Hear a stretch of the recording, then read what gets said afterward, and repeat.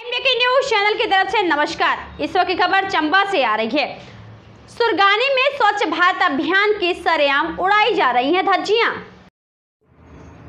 भारत के प्रधानमंत्री ने बात की जाए तो हमेशा स्वच्छ भारत अभियान को लेकर आगे रहते हैं।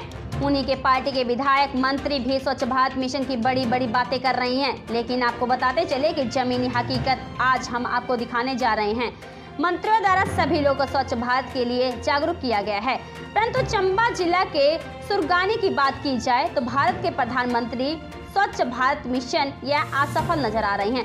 दरअसल आपको बताते चले कि सुरगानी बाज़ार में जितने भी लोग यहाँ पर सभी खुले में कचरा फेंक जाते हैं। सुरगानी में एक बैरा स्योल पावर स्टेशन का केंद्र है, जहाँ पर आपको बताया चले कि बैरा सिल्यूर पावर स्टेशन की चीफ इंजीनियरिंग यहाँ बैरा सियूल पावर स्टेशन और अधिकारी बैठते हैं और हर रोज सुरगाली हज़ारों में के हिसाब से लोग को यहाँ पर आजावाही होती है। जैसा आप अभी नॉलेज में लाए हैं कि वहाँ पे उन्होंने डस्टबिन वगैरह बना रखे हैं बट उसका यूसेज नहीं हो रहा है तो जो N H P C Baira Siul है उनको डायरेक्शन इशू किए जाएँगे कि उनका जो रेजिडेंशियल कॉम्प्लेक्स है, वहाँ पे जो कूड़ा है, उसको प्रॉपरली सेग्रीगेट करके उसका जो डिस्पोजल है, वो as per S L W M rules किया जाए, ताकि किसी भी प्रकार की आसपास गंदगी ना फैले।